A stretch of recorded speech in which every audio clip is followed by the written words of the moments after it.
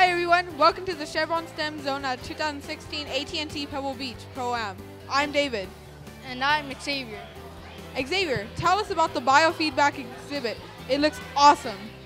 We get to measure how fast or slow your reaction um, time is by catching the stick as it begins to fall. Your brain sends a signal to your hand and it and if you're fast, the stick won't fall far.